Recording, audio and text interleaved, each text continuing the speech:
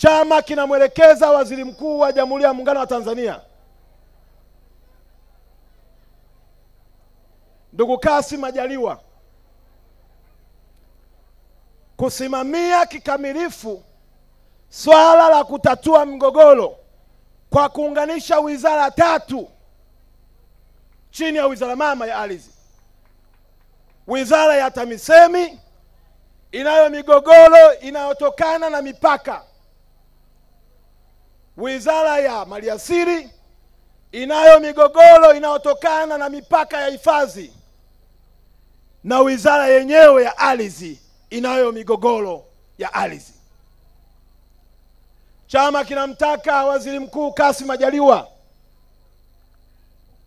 ndani ya miezi sita awe amesimamia na kuratibu kikamilifu kuondoa na kufuta migogoro yote ya ardhi inayopelekea wavuvi, wakulima, wafugaji na wananchi kuteseka chini ya ardhi yao.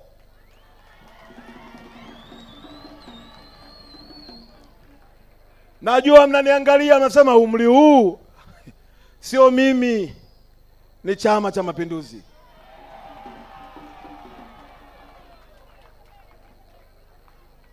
Wale wanaohusika na mipaka, hatuwezi kuwa kila mara tunakaa migogoro migogoro migogoro migogoro, haiwezekani.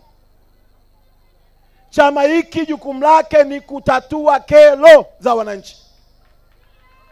Tunawapa heshima wapinzani wasiostahili.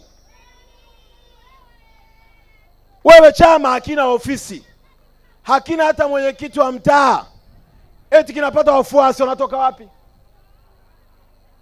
Tukishughulikia hizi kero za wananchi, hakika kauli yangu itabaki thabiti ya kwamba hatuna vyama vya upinzani, bali tunawatoa taarifa.